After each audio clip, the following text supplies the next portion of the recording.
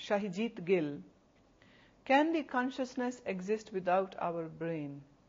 Are we just biological beings made up of matter, or is there anything more that constitutes us? Or, in more simplified words, is there any such thing as metaphysical or supernatural?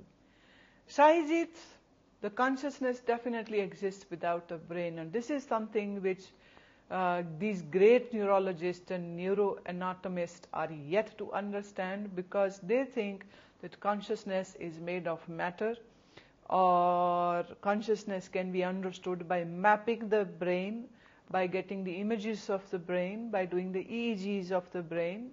Well, the consciousness uh, uses the brain as the seat, but as such, the consciousness is spread out not only within the body but also outside the body. It is the the limitations which we have brought upon ourselves that we restrict our being, we restrict our consciousness in the body alone.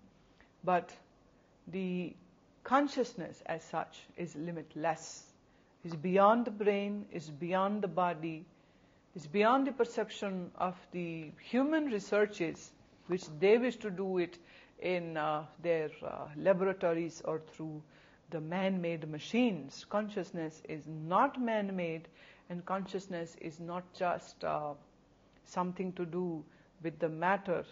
And regarding your question of metaphysical and supernatural, I don't know what you mean by that.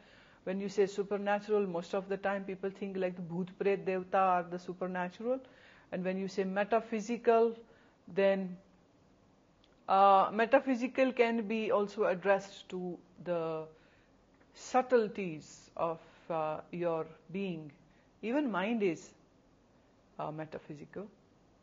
Even your uh, thinking is metaphysical.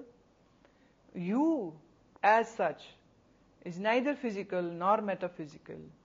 And your consciousness may be of a very lower grade but deep down within you, the supra consciousness is already existent, which you don't have to uh, gain out, but the only thing is you just need to explore it, how it is there functioning with you.